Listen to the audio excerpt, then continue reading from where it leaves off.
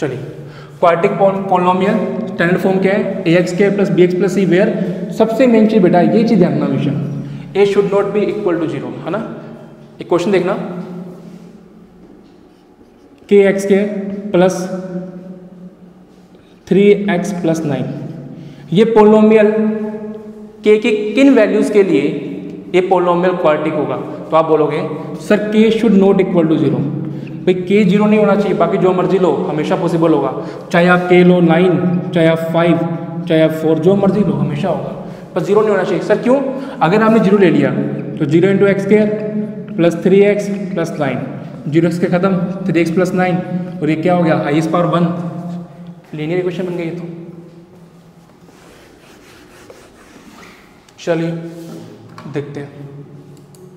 चलिए तो if root of quartic polynomial x के plus b x plus c is alpha and beta find the relationship between coefficient and the roots ये topic हमारा करना है। देखिए, अगर आपका पोलोमियल अगर इक्वेशन खुद कह रही है, कि आपका पोलोमियल ए एक्स के plus b x plus c है, ठीक है बच्चों?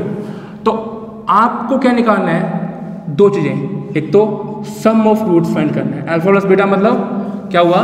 Sum of zeros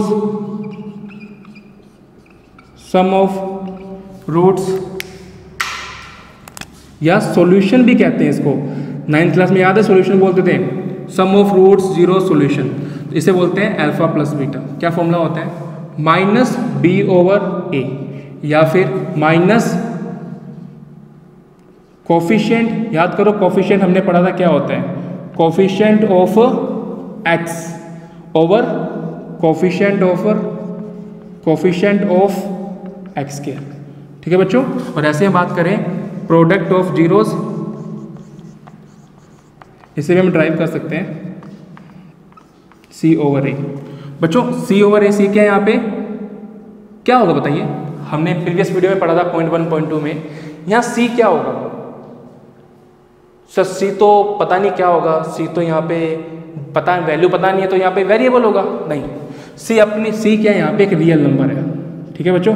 real number क्योंकि हमें पता नहीं वो क्या है, इसलिए हमने सी लिखा पर ये रियल नंबर है, जिसकी वैल्यू हर क्वेश्चन में फिक्स होगी। ठीक है? जैसे कभी सिक्स होगी, कभी सेवन होगी तो ये कॉन्स्टेंट है टाइप से ये कॉन्स्टेंट है। ठीक है बच्चों? तो लिखो, ये कौन क्या है? Constant term over coefficient of of x के बच्चों, बात सुनो, बहुत सिंपल सा है कुछ भी नहीं करना। देखो, सबके अपोन में ए लगाना है। इवन क्यूबिक ए लग जाएगा। पहले बी आ रहा है ए के बाद कौन आ रहा है? पहले ए था, अब कौन में ए लगा दिया? पहले फिर बी आया तो यहाँ लगाया मैंने माइनस का बी फिर यहाँ लगाया प्लस का सी बस फॉर्मूले बन गए कोई याद करने में दिक्कत ही नहीं है। तो याद, क्या क्या टॉपिक था कि अगर आपको क्वार्टिक गिवन है, पहले टॉपिक था, अगर आपको दो रूट्स गिवन है क्वार्टिक बनाते कैसे हैं? अब क्वार्टिक पता है तो सम ऑफ़ रूट्स और प्रोडक्ट ऑफ़ रूट्स निकालते कैसे हैं? देखिए, क्या फॉर्मूला बना? क्या फॉर्मूला बना? देखिए sum of root minus b over a product of root बना सी ओवर ए एक चीज़ सोचो, क्या ये जीरोज है? क्या ये कोफिशियंट है? क्या ये कोफिशियंट है? तो क्या ये रिलेशनशिप होगी रिलेशनशिप का मतलब एक ऐसा फॉर्मूला जिसमें वो चीज़ें हों। क्या कोफिशियंट्स है? पोलोमियल क्वार्टिक पोलोमियल के? क्या जीरोज है और ये रिलेशनशिप है तो जब क्वेश्चन आता है verify the relationship between coefficient of coefficient and the zeros तो आपको ये प्रूफ करना होगा। आपको क्वार्टिक को पहले क्या करना पड़ेगा? फैक्टराइज करना पड़ेगा। पहले आपको जीरोस निकालने पड़ेंगे, फिर शो करना पड़ेगा कि उनका जो सम है, वो माइनस का बी ओवर ए सेम आ रहा है और यहाँ पे उनका प्रोडक्ट जो है, और सी ओवर ए सेम आ रहा है। हम करेंगे 2.2 में करेंगे। मतलब मेन चीज़ समझ आई बड़ी बड़ी बात। अगर एक क्वार्टिक गिवन है तो सम ऑफ़ रूट क्या होता है? Minus b over a product of zero क्या होता है? सी ओवर ए ठीक है? चलिए। ये थी एनसीईआरटी 2.2 का बेसिक लेकिन बच्चों, सिर्फ़ इतना इनफ नहीं है। क्योंकि सीबीएसई ये नहीं है कि सिर्फ़ इतना डालेगी। वो कुछ एक्स्ट्रा क्वेश्चन भी डालती है। अगर आप प्रीवियस पेपर देखोगे ना तो आपको मिलेंगे कुछ क्वेश्चन और भी बनते हैं। क्या बनते हैं? डिस्कस करते हैं। पर एक बात फिर क्लियर करता हूँ। पहला क्वेश्चन अगर अल्फ़ा बीटा जीरोज है तो क्या बनाना है आपको? पोलिनोमियल ठीक है? पोलिनोमियल बनाना फॉर्मूला हो गया x square minus sum of zeros plus product of zero equal to zero नहीं लगाएगा, आएगा। और दूसरा, आपको इक्वेशन गिवन है स्टैंडर्ड फॉर्म ये होती है a x square plus b x plus c यहाँ ज़रूरी नहीं है कि बी और सी हो ही बी और सी ज़ीरो जो है, हो सकता है ऐसा। और आपको निकालना सम ऑफ़ जीरोस माइनस का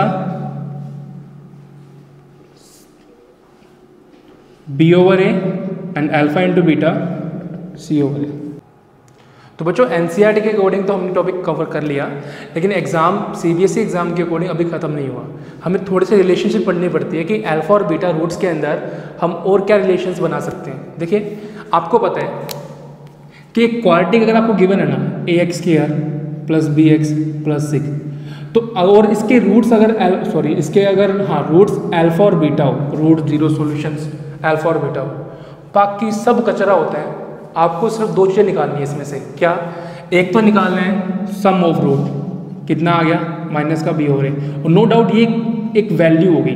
एक वैल्यू हमें नहीं पता क्या है, पर एक वैल्यू होगी। ऐसे ही आप लोग क्या करोगे? अल्फ़ा इंटू बीटा निकालोगे। That is also a value c over एक कॉन्स्टेंट वैल्यू ठीक है बच्चों? मतलब एक क्वालिटी से हमें सिर्फ़ दो चीज़ मिल सकती है, एक तो सम ऑफ़ रूट और एक प्रोडक्ट ऑफ़ रूट्स ठीक है?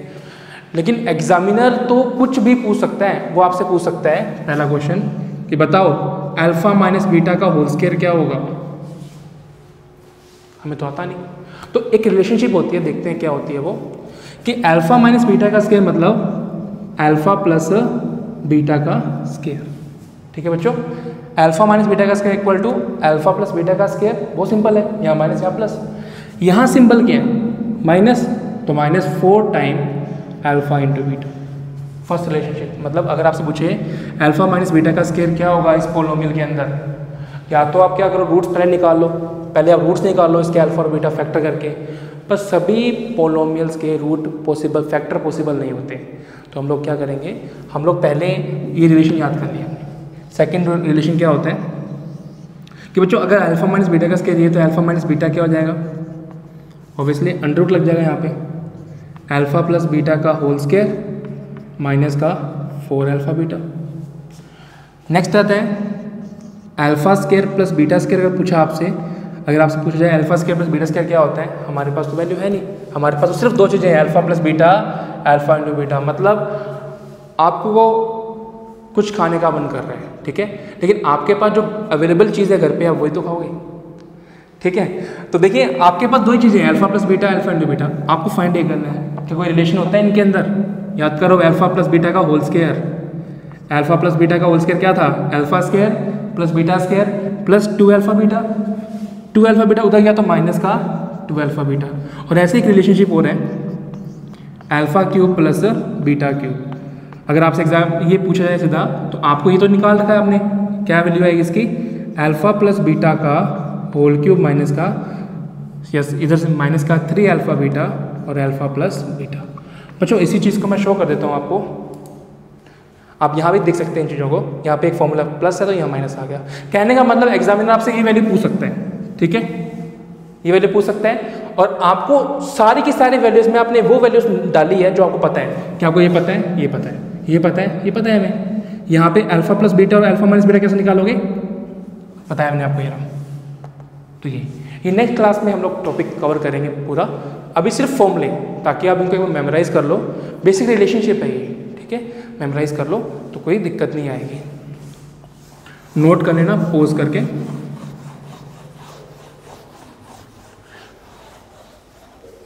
नेक्स्ट वीडियो में हम लोग 2.2 कवर करेंगे। और कोई डाउट्स हो तो आप कमेंट कर सकते हो।